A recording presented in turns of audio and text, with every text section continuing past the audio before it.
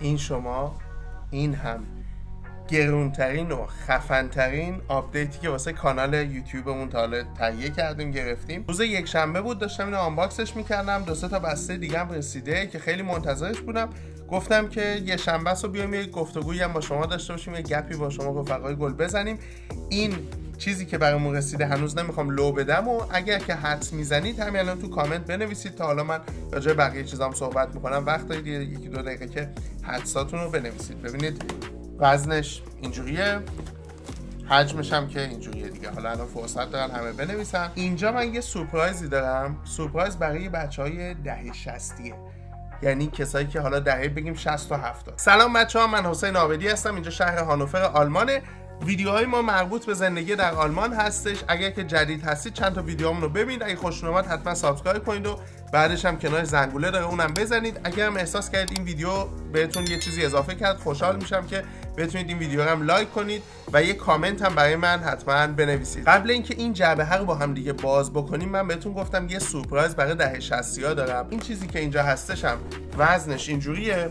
اگه خواستید حدس بزنید. اما این چیزی که برای کانالمون گرفتیم برای ارتقای کیفیت ویدیوهامون گرفتیم که امیدوارم تا الان حد زده باشید. چیزی نیست جز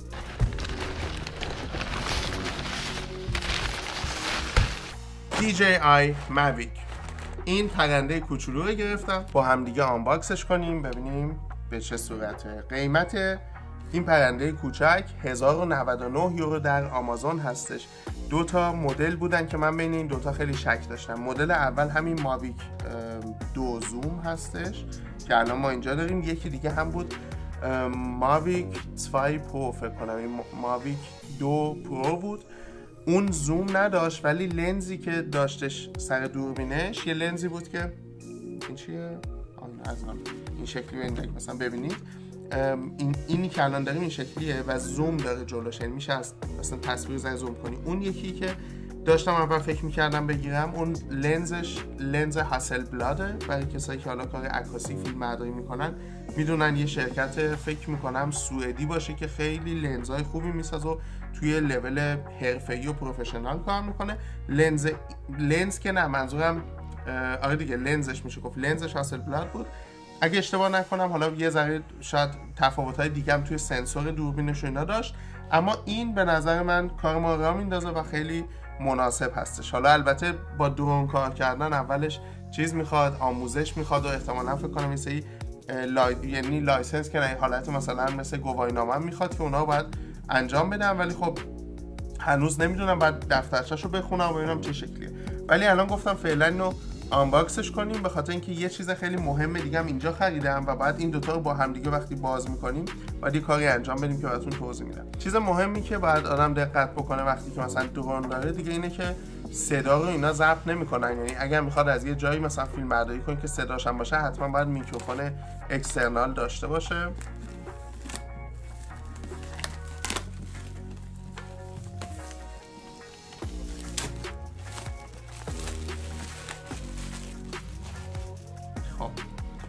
این شکلیه. اینم که جعبشه اینجوری.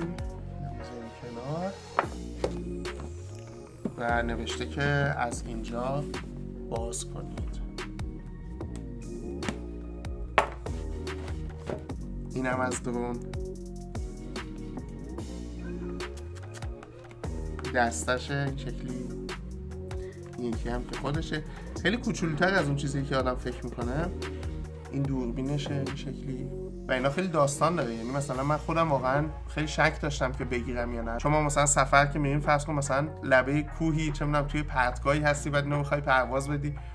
و خب یه ذره ریسکیه ولی دیگه گفتم که تهیهش کنیم و ببینیم چجوری کار می‌کنه. اینو من سر فرصت باید ببینم. یعنی دوستم که اینو داشت میگفتش که مثلا یه دو ساعت فقط باز کردن و رجیستر کردن و این داستاناش طول می‌کشه. البته برای اینا معمولا شما باتری اضافه هم نیاز دارید. ببینید این الان فکر کنم شارژرشه. من یه چیز دیگه هم سفارش دادم. اونو دیگه با از آمازون نگرفتم. اون یه مغازه تو هانوفر بابم تحویل بگیرم. دو تا باتری اضافه است یه کیتیه که در واقع بهش میگن کومبو کومبو مور فلای. فکر کنم همچین چیز داره. اسم تو اسمش. اون اگه بخواین داشته باشین آره اینم سیمشه. اگه بخواین اون رو داشته باشین بعد در واقع یه فکر می‌کنم 289 یورو قیمت اونه.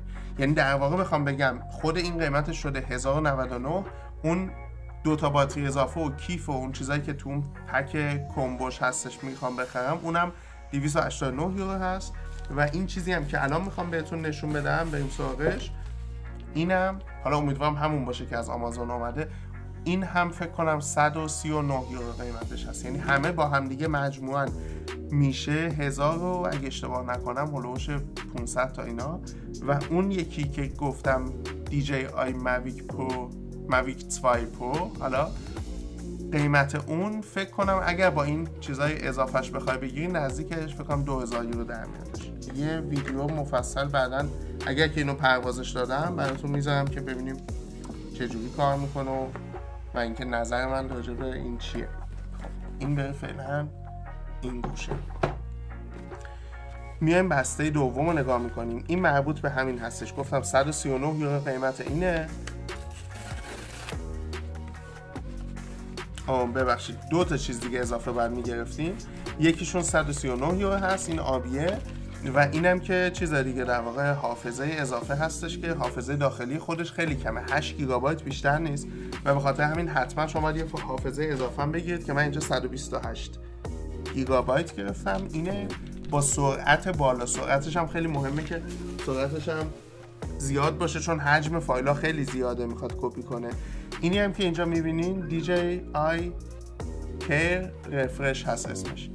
من طوری که متوجه شدم شما اگر که این پرنده رو پرواز بدید یه جایی مثلا بیفته زمین بشکنه یا یه اتفاقی پیش بیادش البته خودش خیلی چیزای محافظتی داره. یعنی اینکه اگر مثلا داره نزدیک میشه به یه مانعی خودش تشخیص میده وای میسته اینا. ولی این اگر که به هر حال به هر دلیلی اتفاقی برش بیفته و تو یک سال اول مثل که بیفته بشکنه با این که 139 یا با این بیمه ای که من اضافه گرفتم خودشون یه دونه دستگاه نو میدن یا یه دستگاه تعمیر شده مثلا ترتمیز میدن در حد اون و با هزینه خیلی کمتر مثلا با هزینه فکر کنم 20 یورو 25 یورو یه دستگاه جدید ولی خب چیزهای داخلش رو نخوندم.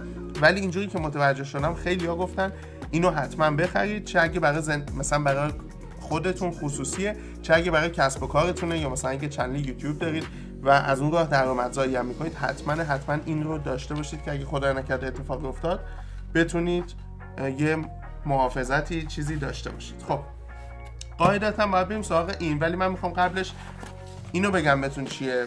و دلیل اصلی هم که گفتم راجع به این unboxing من می‌خوام ویدیو ضبط کنم. این هستش که اینجا هیچ صحبتی هم تا الان تو ویدیو راجعش نکردم. یه چیزی که من متاسفانه خیلی خیلی خیلی کم میشه گفت. اصلا تا حالا ندیدم unboxing ش رو توی حداقل جامعه فارسی زبان خودمون. و یه ذره برام غم انگیزه دوست دارم که این فرهنگ جا بیفته و در واقع این اتفاق رو از این بعد بیشتر شاهد باشیم. من سه تا کتاب سفارش دادم و کلا مطالعه و کتاب خوندن خیلی خوبه. من می‌دونم خیلی خیلی از شما بچه های عزیز که خارج از کشور زندگی می‌کنید حالا چه آلمان چه اروپا و زبان مادریتون فارسی هستش زبان مثلا اون کشور زبان مادریتون نیست. بازم اگر بخواید می‌تونید کتاب بخرید و مطالعه کنید و متوجه میشید. یعنی قشنگ 40 درصد 50 درصدش رو مطمئن باشید متوجه میشید. و اگر هم متوجه نشید زبانتون مثلا هنوز داره بهتر میشه اتفاقا کتاب خوندن خیلی کمک می‌کنه که زبانتون بهتر میشه ببین اولین کتابی که خریدم اینه. کتاب پاپا زای بغایت یعنی من یه کتاب سفارش دادم راجع به اینکه اگه بخوایم پدر بشیم باید چیا رو بدونیم. من هیچی اطلاعات ندارم و خیلی می‌خواستم اطلاعاتم به بالاتر یه کتاب دیگه هم هست اونم باز راجع به پدر شدنه. نوشته هیلف ایشفرد پاپا. میشه معنیش کمک منم پدر میشم. که اینم کتاب فکر می‌کنم جالب باشه. جفتشون خیلی امتیاز خوبی تو آمازون داشتن. یه کتاب دیگه هم هستش راجع به فرزند رو نوشته اونزه بیبی داس ارست یار من این کتاب رو هنوز نخوندم. اما برنامه اینه که اگر این کتاب رو خوندم و توش موضوعی بود که فکر می‌کنم خوبه همسن و سالای خودمون بدونن که سعی کردم می‌خوان بچه دار بشن اینا و تو تربیت فرزند کمکشون کنه حتما اونو راجبش ویدیو درست کنم و با شما در میون بذارم یعنی حالا اگه که خودتون کتاب این کتاب رو خواستید بخرید بخونید که خوبه. اگر نه نکته مثلا خاصی هم بودش که مثلا جایی تالا نشیده بودم حتما راجبش ویدیو درست می‌کنم و اونو باتون به اشتراک می‌ذارم. این چقدر زویس بچه چند نازه. و همین دیگه. اینجا داره میخنده. بچه این به شخصه بگم برای خودم بهترین چیزهایی که گرفته بودم از همین سکنه گرفته بودم این از همین منو بیشتر خوشحال کرد. البته هنوز وقت نکردم بخونمش. تازه رسیدم میریم حالا راجع به همون سورپرایزی که بهتون قولشو دادم. گفتم که می‌خوام سورپرایز کنم شما رو. یعنی در واقع بچه ده ببینیم چی سفارش دادم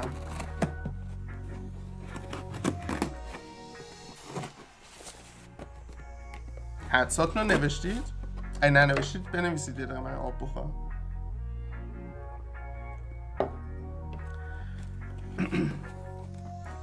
چرا میگم ده شستی یا ده هفتاد؟ به خاطر اینکه بچه های امروز اصلا نمی‌شناسن اینو. برای من خیلی جالب بود. با یکی از بچههایی که برای ما کار می‌کنه تو ایران صحبت می‌کردم. سنش کمتر 19 سالشه. گفتم می‌شناسی اینو؟ اصلا نمی‌شناسم. گفتم چه جالب. برای من این خیلی تدایی خاطراته. ولی مثلا بچه های الان دیگه در واقع اینو نمی‌شناسن. خب قبل از اینکه با هم ببینیم این چیه دقیقا بهتون دیگه میگم این یه آدامسه ولی یه آدامسی که من تو آلمان پیدا نکردم تو ایران ما میخوردیم آدامس رو و طعمش واقعا منو یاد و خاطرات قدیم رو توی ذهنم میاره. بی‌نظیر بود طعمش. همین الان یعنی واقعا اصلا در فکر می‌کنم. هنوز تست نکردم همین الان بازش کردم. این آدامس رو من نزدیک 20 سال نخوردم و منو می‌بره همین الان. که بخوام امتحانش کنم می‌بره تو خاطرات زمان مدرسه ای که ایران می‌رفتیم. یه سری آدامس که تو ایران میخوردیم توی آلمان هم پیدا میشه تو مغازه ترکا مثل مثلا آدامس شوک. اگه یادتون باشه آدامس بود که خیلی ترش مزه بود و چند تا آدامس دیگه هم همینطور. خیلی هاشون از ترکیه اصلا میومد ایران. ولی این آدامس رو واقعا من تو هیچ فروشگاه ترکی هم تو آلمان پیدا نکردم و فکر می‌کنم اصلا وجود نداره. تا اینکه به این ایده به ذهنم رسید گفتم سرچش کن تو اینترنت شاید تولید بشه شاید بشه از خارج از یه جای بگیریم. و ایدهش هم وقتی اومد که اون ویدیو والدمایستر بود گفتم نوشیدنی والدمایستر طعم این آدامس لاویز رو می‌داد. همون موقع ایدهش به ذهنم رسید که این آدامس رو چک کنم. این هستش بچه ها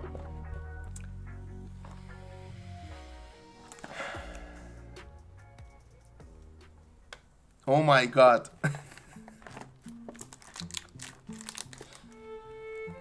من بینیمم گرفته سرما خوردم. یه سه چهار هفته یه کلا شرایط هم اینجوریه. خیالتون قد کرونام نیست صد دفعه تست دادیم و اینا. ولی کلا الان که با اینکه بینیم هم گرفته بود همین از بیرون اینو بوش کردم اصلا رفتم توی شهر زیبا خیابون صرف. ببینید. صد تا آدامسه بعد بذارید من اینو باز کنم. کدومو؟ همینو فعلا باز می‌کنم. تست کنم ببینم که چجوریه واقعا خیلی منتظرش بودم که این بیاد. بعد هاینه یه عکس هم توش بود.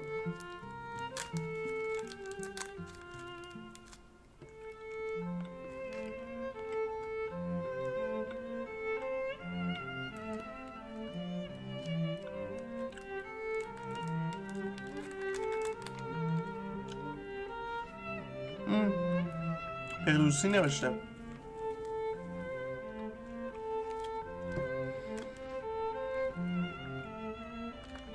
آدامسا به روسی نوشته. راجع به عشقه Love is. بچه ها موقع خودتون باشین. این آدامس اصلا منو از فاز ویدیو اصلا در اصلا الان این نمی‌تونم ادامه بدم. این دستگاه هم, هم موقع تستش کردیم براتون ویدیوشو درست می‌کنم. ممنون که تا اینجا همراه بودید. اگه هنوز لایک نکردید خوشحال میشم لایک کنید. کامنت هم برام بنویسید. مراقب خودتون باشین. تا هفته بعد خدا نگهدار.